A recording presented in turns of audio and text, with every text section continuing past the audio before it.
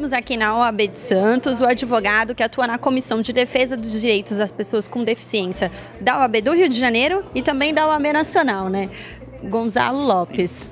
É, nós vamos falar hoje o tema da palestra até foi uh, sobre as conquistas sociais através da promoção da autonomia da pessoa com deficiência. Desde já, já parabenizo pela excelente palestra, um sucesso. E agradeço também por estar vindo à nossa casa.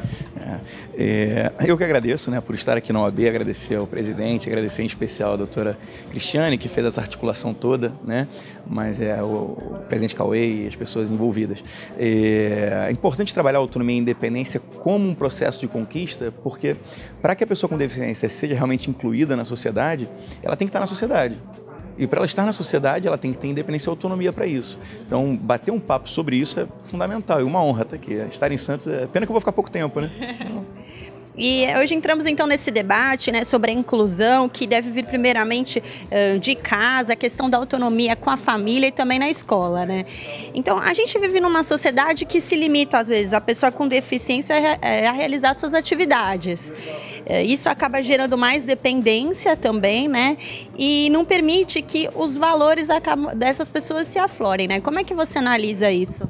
É, até falei bastante sobre isso, assim, a mudança tem que ser cultural, cultural da sociedade e quando eu falo sociedade, das famílias também. Né? É importante que as famílias deem mais autonomia, porque se você de repente conquista o direito à educação, né, conquista o direito ao trabalho, por óbvio, essa pessoa mais incluída, ela vai começar a pedir para casar, para comprar apartamento, para poder viajar, para poder sair com os amigos. Então, assim, é, é, para que nós possamos avançar nos direitos, a gente tem que avançar também na, no pensamento, na cultura. Então, para que a política social se consolide, as famílias têm que estar brigando para que ela aconteça e também dando autonomia para que essas pessoas estejam vivenciando esses direitos. Né?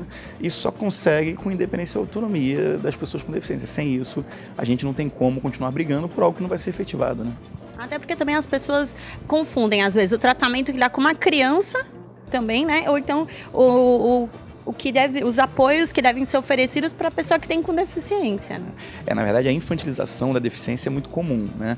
E aí não só da deficiência intelectual, não. É, é, eu tenho um grande amigo que ele é cadeirante, né? Ele foi policial há muito tempo, então ele já tinha uma, uma pegada de vida de independência e autonomia construída. A, a, deficiência dele foi adquirida num acidente, né? E aí ele organizou uma festa de, de aniversário de casamento para a esposa, aí ligou para o restaurante, marcou tudo. E quando chegou no restaurante, foi recebido. Ele combinou tudo, ele fez tudo, porque ele tem total independência e autonomia. Ele só se desloca na cadeira de rodas, né? Mas ele faz exercício, corre. E aí ele chegando lá, o, o responsável, o gerente do restaurante, estava ele e a esposa dele. E aí isso é relato dele, né? Ele virou para a esposa dele e falou assim: e ele vai querer papar o quê? Ou seja, um homem independente, autônomo, e ele falou que ali a, a, toda a festividade que ele tinha acabou. Né? Então, é, é, uma cultura que tem que ser desconstruída, essa ideia da infantilização da deficiência, porque até nesse caso, que é um caso crítico, é um homem, um homem forte, então você vê que ali ainda. Imagina uma criança mesmo, um adolescente, o adolescente é como criança, às vezes né, a própria família às vezes é, trabalha como uma criança. Por mais que haja uma dificuldade cognitiva, eu entendo a família, porque às vezes não houve amadurecimento intelectual e cognitivo, né? às vezes eu tenho realmente uma idade cognitiva muito atrasada em relação à biológica. Mas a gente tem que procurar compatibilizar, por exemplo, as vestimentas, por mais que aquela pessoa não tenha a idade cognitiva compatível com a biológica, mas que eu adeque as roupas, como tem que ser uma roupa de um adolescente uma roupa de um adolescente, né? para que eu não infantilize, porque senão eu mantenho tenho aquele ciclo, né?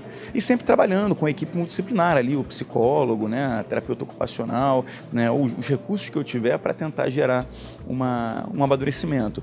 Entendo que algumas deficiências, deficiências são mais complicadas em termos de idade cognitiva, mas a gente tem que estar sempre buscando dar visibilidade na idade mais compatível possível, né? Você falou muito sobre educação também. É preciso realizar então um trabalho na questão de educação inclusiva, mas para todos? É, porque assim, a educação inclusiva ela só vai acontecer de fato quando todo mundo perceber que ela não é para o aluno com deficiência. A educação inclusiva ela não é um custo do aluno com deficiência, ela é um investimento para todo o ambiente educacional. As técnicas de educação inclusiva elas fazem uma coisa que já deveria ser feito, já deveria ter sido feito há muito tempo, que é colocar o aluno no centro. Então, a educação inclusiva ela pega, porque o aluno com deficiência ele tem necessidades educacionais especiais bem perceptíveis. Então, assim, você precisa adaptar um currículo, precisa, às vezes, botar um profissional de apoio. Então, é muito perceptível. Só que, na verdade, eu sou professor há 16 anos, quase todos os meus alunos precisam de alguma coisa. Então, quando a educação inclusiva coloca o aluno com deficiência, ele gera referência para todos. Parar para analisar esse aluno né? entender aquele aluno, o que está acontecendo com ele. Então, as técnicas de educação inclusiva, na verdade, como são centradas no aluno, giram na órbita ali do aluno, elas melhoram a educação para todos. Uma sala de recursos tem a prioridade para o aluno com deficiência, mas pode recuperar outros alunos com dificuldade de, de aprendizado. Né? Então, é, você trabalhar um plano de estudo individualizado para o aluno pode ajudar um aluno que está com uma dificuldade numa determinada matéria. Né? Você pode pegar o aluno de melhor desempenho e colocar junto com de desempenho menor. Então, é, é, é para todo o ambiente educacional e não só para o aluno com deficiência. Você que faz parte das duas comissões, tanto da OAB do Rio de Janeiro como também do, da OAB Nacional, como é que tem sido desenvolvido o trabalho né, eh, nessa questão aí da, da inclusão? A OAB tem sido um instrumento muito importante. Uma coisa que é muito perceptível, eu tenho rodado o Brasil em várias cidades, e assim, aonde a OAB é atuante, a coisa acontece muito mais. Então, assim, a OAB, a sociedade civil organizada, é fundamental nesse processo. Depois que eu entrei para a OAB, eu descobri como que nós temos muito mais força do que nós pensamos enquanto sociedade. Então, assim, o Conselho Federal ele tem a possibilidade de atuar no país inteiro, isso é muito importante, mas ele precisa que os conselhos estaduais atuem, que as comissões estaduais atuem. Só que a atuação da OAB é fundamental. Eu sou meio suspeito porque, assim, eu, def, eu, eu, defendo uma atuação da OAB porque ela é efetiva. A gente consegue dialogar com o Ministério Público, com a Defensoria, com os parlamentares, com o Poder Executivo, com o Poder Judiciário. A OAB tem esse diálogo e ela é respeitada para isso e ao mesmo tempo eu critico quando não atua. Então, assim, tem OAB é, seccionais e grupos que precisam atuar mais, mas em regra a OAB tem atuado muito, tem sido uma ponta de lança aí nesse processo. Eu acho que é, quando não atua muito é por uma questão, às vezes, de, de percepção e de mobilização necessária. Mas é, eu sou suspeito para falar, mas eu acho que a gente tem tido um papel bem, bem representativo né, quanto sociedade civil. É, a OAB tem, porque a OAB tem força para isso, né? Sim, tem muita força. Né? A gente descobre lá no Rio, por exemplo, a parceria com o MP, porque ela é respeitada, né?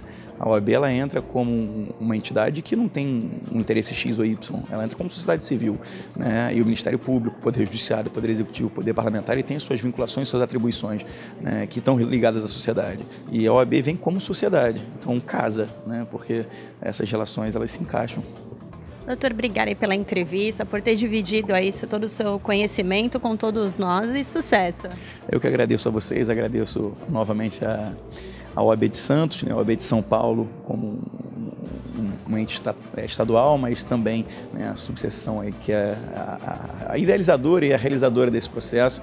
Estou né. muito feliz aqui, acho que tem uma atuação muito grande a Comissão da Pessoa com Deficiência. Ela tá, fiquei muito feliz quando eu soube que eu vim aqui, ela tem um papel bem bacana que eu reconheço do Rio, né, várias atuações daqui da, da OAB de Santos. Então, queria agradecer pelo espaço e parabenizar principalmente a OAB.